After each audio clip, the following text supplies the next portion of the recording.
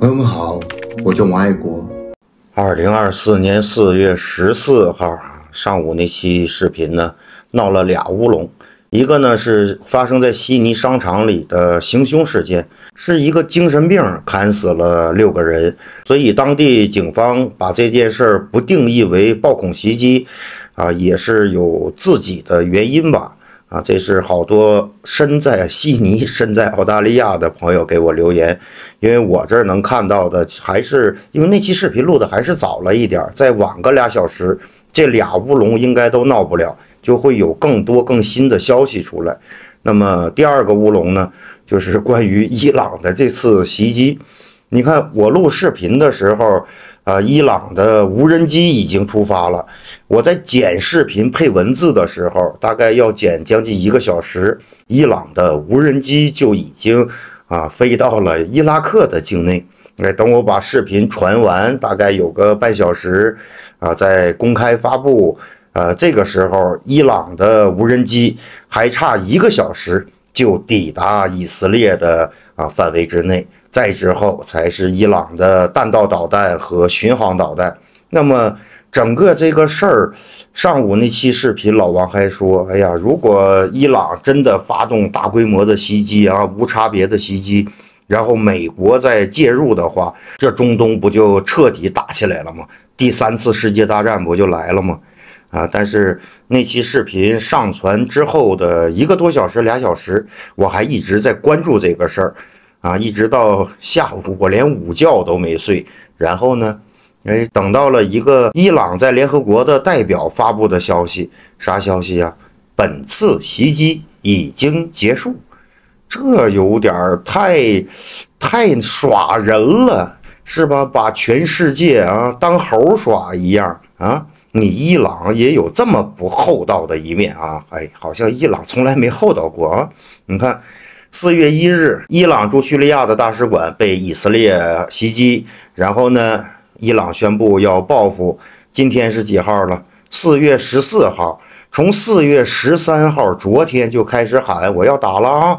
我跟美国已经通气了，我跟以色列这边也喊话了，然后我要打了，我要打了，我要打了，把这个情绪呀，活活拔到了啊上头的程度。然后呢，无人机出发了。哎，无人机飞的速度可是不太快啊，前后飞了将近四个小时时间，才飞到了以色列的边境。那这四个小时时间在干嘛呀？我感觉这场袭击表演的意味远远大于实际的意味。哎，他不需要袭击造成什么样的结果，也并没有想给以色列造成任何的损失啊，都别说伤亡了，他就是在。告诉全世界，或者呢，感觉他在向国内演戏的这个成分更高。哎，这事儿就特别像当年啊，美国轰炸了中国驻南联盟大使馆那事儿发生之后，哎，你看看中国的官方开始煽动，是吧？中国的民粹，中国的脑残小粉红们，哎，这个情绪一点一点的高昂高亢，是吧？也上头了，又是抗议，又是游行，又是各种反美集会的，但是。国家真的想打吗？国家真的能打吗？伊朗对这件事儿到底有没有认识呢？哎，由此可见，伊朗对国际形势还或者对美国和以色列还是有很清楚的认识的。打是不可能真打的，但是不打是安抚不了国内人民的情绪的。那怎么办呢？哎，演一场吧，各方配合一下吧。四月一号出的事儿。咱们开始准备，准备了活活两周时间，中间在干嘛呢？提前啊十天告诉美国，哎，我们准备对以色列进行一场袭击。然后美国呢，马上把这个事儿全世界通报，告诉以色列要小心，哎，伊朗要报复了。为什么？不就是要给以色列更多的准备时间吗？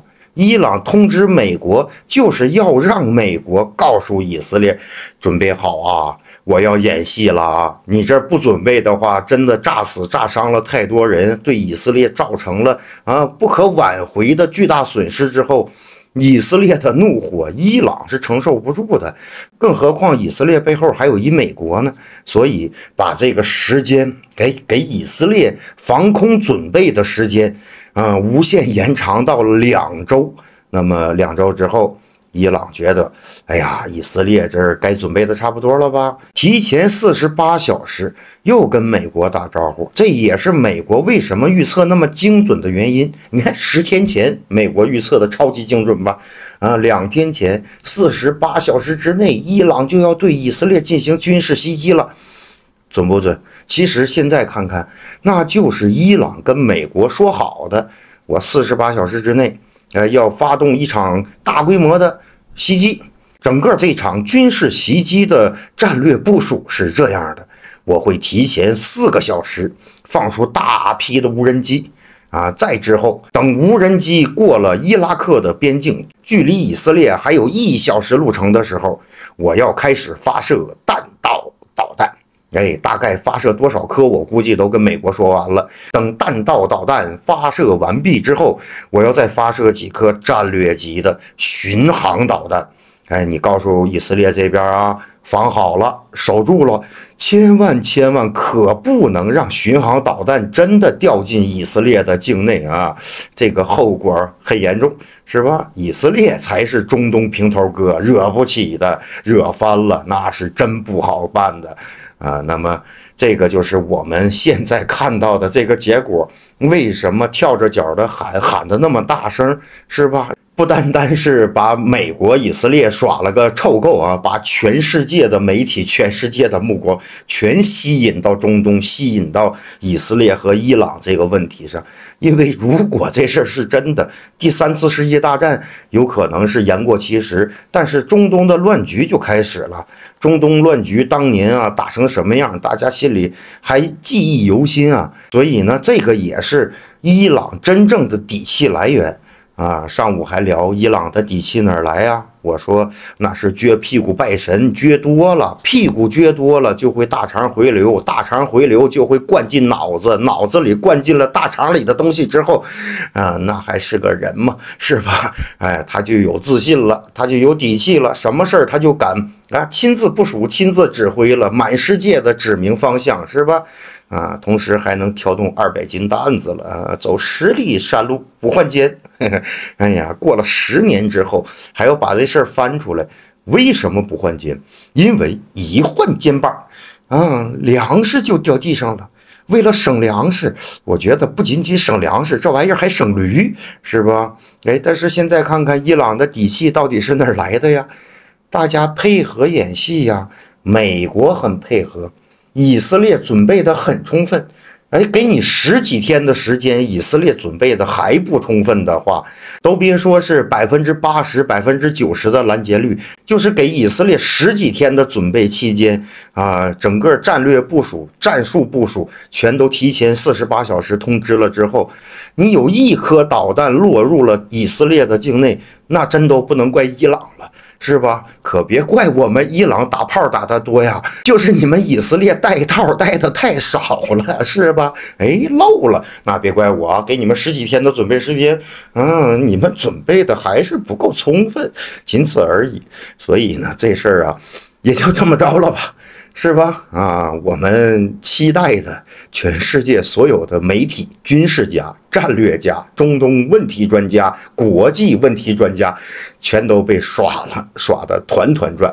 哎，所以到最后，老王这就剩一句话：伊朗啊，真他娘的不厚道，是吧？哎，当然，从这个角度讲，伊朗对以色列还是蛮厚道的啊，充满了人文的关怀。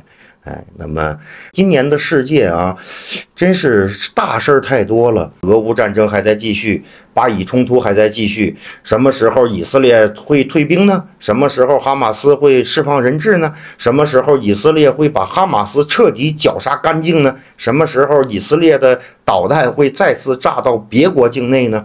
比如说躲藏着。大量哈马斯高官的卡塔尔啊，躲藏着大量哈马斯高官的黎巴嫩贝鲁特呀，躲藏了大量哈马斯高官的伊朗啊、叙利亚呀、伊拉克呀，哎，等等吧。是吧？我估计以色列肯定还会有接下来的斩首行动，而且一定一定是在发生在老王刚刚点到的这几个国家境内。哎，大家看着就行了。如果发生那一幕，我跳楼，你们就偷着乐吧。